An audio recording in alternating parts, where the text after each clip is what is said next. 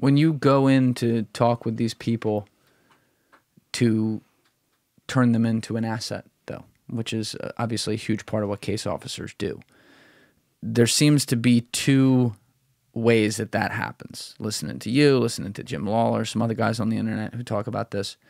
You either A, do all the things you just said to develop trust and then find a, a that vulnerability thing that makes them feel like, you know what, this guy's got my back. I will work with him. Mm-hmm. Right. And it, in a way, manipulatively inspires them to work with you. There's that category. Then the other category is you find their you find their weak spot. You find not the vulnerability I was just talking about. That's a weak spot, but I'm saying like their weak spot, like you get information that other people can't know. And you got to make them in into an asset. What does that conversation look like? I mean, we've taught we've already covered people can listen to you yeah, yeah. on other podcasts talk about how catching people with pattern of life and stuff like that. We we don't need to go down all that again. But like you're going after somebody, some high level guy that you need to make into an asset for the CIA. This is like a direct mission. Like Andy, we need this guy, and you find out that you know he has this vulnerability, whatever it is, and you got him. Is it like in the movies where you walk up and you're sitting at the bar and then suddenly you're like, you know, we know about that, right? or is it much more like friendly and and calm and like not necessarily saying the obvious but getting the point across? It's no, it's very much about saying the obvious. So what you're talking about there is the difference between what we call a warm approach and a cold approach. A warm approach is a relational approach. You find their vulnerability, you make everybody feel like they're friends, and you make everybody feel like they're warm and cozy, and you do all the mirroring stuff I talked about. All the stuff you don't want to talk about, that's all warm approach. What you're getting at right now is what's known as a cold approach. And a cold approach is usually very heavily centered on some uh, on a motivation that we know is coercive in nature. And I think I've told you about the four different motivators in the past, right? One of the four motivators is coercion. I know you're in debt. I know you're cheating on your wife. I know your son's dying of a rare form of cancer. I know that whatever, right? I, I know that the mob is out to kill you and whatever else. I have some piece of information that you have that you don't ta- that you don't share with anybody. Right. You probably also heard me talk about our three lives: public life, secret life, and private life. I have some piece of information from your secret life that you don't share with anybody, and now I'm coming up to you and I'm very I'm I'm still being cordial when I step into the bar and I say, "Hi Julian, how are you today?" And you look at me and you're like, I'm fine. Have we met somewhere? And I was like, no, but I'm really glad that we had a chance to meet today because I understand that you're in a situation with your son right now and that you're having a hard time finding any place that'll give him the medical attention that he needs. And I'm here to tell you I can solve that for you. I can have your son in front of a doctor that's going to give him life saving medical care within the next six months. But what I need you to do for me is XYZ. And most people are going to give me a look that's like, because they're frozen. In the, in the hierarchy of how people respond to strangers, there's three phases. There's an avoidant phase, a competition phase, and then there's a, a phase where they comply.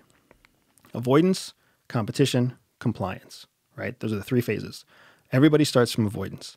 So when when you hit on a cute girl or when a cute girl says something nice to you, there's a reason that you stand there and you just go mm-hmm. because you're in the avoidance phase. You're not engaging her. When you compliment a cute girl and she looks at you like you're crazy, she's in the avoidance phase too. She might actually think you're cute. She might actually like the compliment, but her natural human instinct has her in a position where she's not going to talk and she's not going to engage because the first phase is avoidance. So I'm expecting that when I tell this person, I can save your son's life, and I know that you've been trying to do that for the last six months, and we're going to have it fixed within the within the year. I'm expecting that person to look at me and be like, "Fuck you. Who are you? I don't know what you're talking about." Right? That's the avoidance phase. As we continue to push on that, and I tell them, "Look, the life-saving care that we have is waiting for him in a specialty hospital in Mar- in Maryland, inside the United States. I can have all expenses paid, and we can have your entire family there, you know, before the fall." Then I expect to go into a competition phase. Who are you? Where did you get this information? How do you know about my son? They might even get up and try to leave, right? They're showing me that they're actually curious about the information, Try to leave, but they don't get to leave. right? How do you keep them there? Like you don't have to keep them there. The information, the pitch, the coercion, that coercive element that you've ins- that you've put in there, you already know it's strong enough to get them to stay. What about the 10% of people where it's not, though? The 10% of situations where they walk out of there, then they could just go, like, tell, like, yo, I just got approached by a CIA guy. That's true. But you know what happens more more often than not in that 10%? They come back to you. They come back to you. But in the meantime, do you have to get out of the country because it, the heat might be on you? No, because You're not got, nervous. you've got that person's when you're going to approach somebody coercively, you have them on lockdown. You're listening to their phone, you're watching their email address. You watch them walk into that location, you watch them when they leave that location. You're co- you've got them pinned down. The reason you're taking this level of effort is because it's worth it. You don't put yourself at this much risk unless that person is so worthwhile that you're willing to bring in not just you, but you and your team and your supervisors and everybody at Langley. They're all like, yes, this person is important enough that we're going to commit these kind of resources, right? Is there a chance that someone's going to go to their boss and be like, I just got approached by CIA? Of course, there's a, there's a chance of that. But then what happens to them once they tell their boss that? Uh, Well, if they're in the wrong country, that could go the wrong way. That could them. go the wrong way Yeah. quickly. So now all of a sudden the boss is like, How did CIA know about you? How did they know about your son? Your vulnerability. You're a vulnerability. We need you out of this job. You just lost your this, you just lost your that. So they don't want to tell anybody about that. So what we're doing is we're putting them in a double coercive vice. There's our coercion where we're saying, we know you have a problem, we're your only option to fix it. And then if they do have the usually it's not good sense. Usually it's some sort of panic reaction where they get up and they, they shuffle their stuff all together and they leave the bar.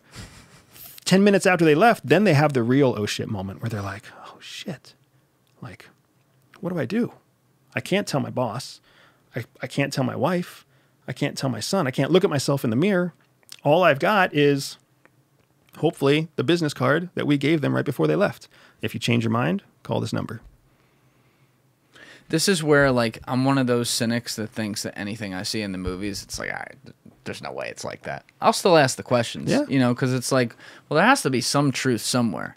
But like, you're talking about this from the situations, and I can see you like picturing some of these in your head, just like the way you're explaining it, like you're reliving some of them, which is pretty wild. But you're talking about these where you're the one going in there and, and telling them this stuff.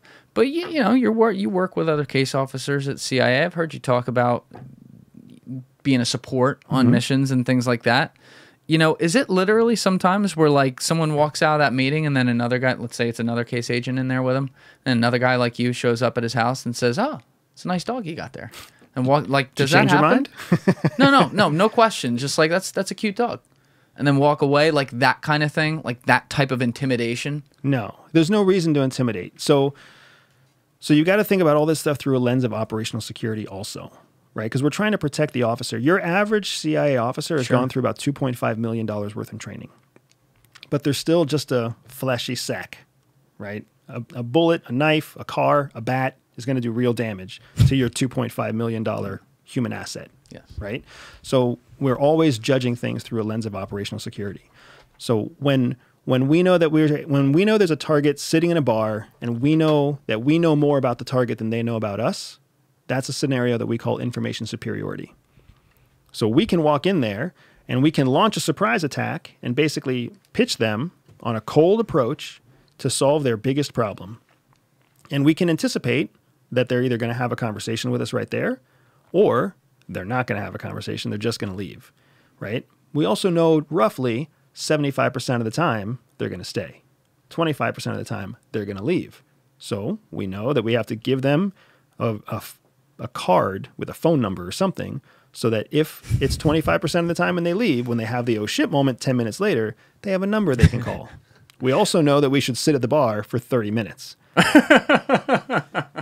Do you know what I'm saying? Yes. Yes. But once that 30 minutes is over and they've left and they haven't come back, and the surveillance team outside has called in and been like, hey, that dude went straight to the police department. Or the surveillance team outside is like, hey, that dude called his wife right away and told her the whole story right away.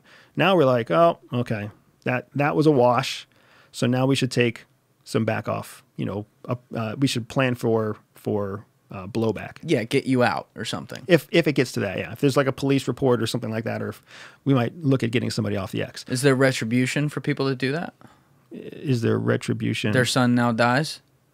Well, their son. You guys make sure of it. no, there's no benefit there. I had to ask. There's no Sorry. benefit because the benefit, dude. The benefit is that that dude sits there and watches his son. I mean, this is going to make me sound like a horrible person, but this is what life looks like outside of the rules. Yes. Every day that guy faces his son.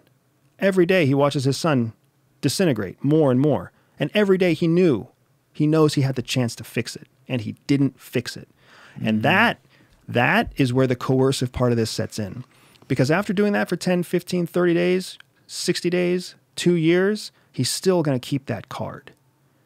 And when the day comes that he picks up that card and he makes a phone call to that number and he says, "Hey, I had somebody talk to me about helping my son. Can I have that conversation again? Someone's going to say yes, right? That's what it's all about. If we're going to take the step, if we're going to put the effort into the cold approach at all, then you're going to have the effort to take the follow up. Like, It's it's worth it. The risk is worth it because that person is so special. What happens in Hollywood, dude, is that out of 100% of cases, we'll cold approach maybe 5%. 95% work. Oh, I believe that. Yeah. Yeah. Yeah. But you yeah. know what? Hollywood doesn't like the 95% because then it just, it's too boring. Like, oh, you become besties and you go out to dinner and then you start talking about families and then you start doing this and you start doing that and that's not sexy. I don't think that's boring. Well, a lot of times in Hollywood, it's hard to develop that story accurately. Interesting. So it's way more, it's way more entertaining when the guy walks into a smoky bar and he drops a suitcase of cash and he pulls a gun up underneath the table and he says, "Hey, you're going to talk to me. You're not going to leave." That just sounds more entertaining and exciting. But then it's quick and it's over and it's one thing. I actually think you're onto something here. I think it's more entertaining. Like when you have someone where you think they're that guy. Like if you're wa- if you're the viewer watching it, I'm just thinking about this, and like you're watching two people become friends. You have no idea one of them's like a spy, and then suddenly like the day comes in where it's like, oh, sorry, I'm a spy. That's good TV right there. Thank you for watching the video, guys. Please hit that subscribe button and check out this clip's full podcast episode by clicking here or in the description below.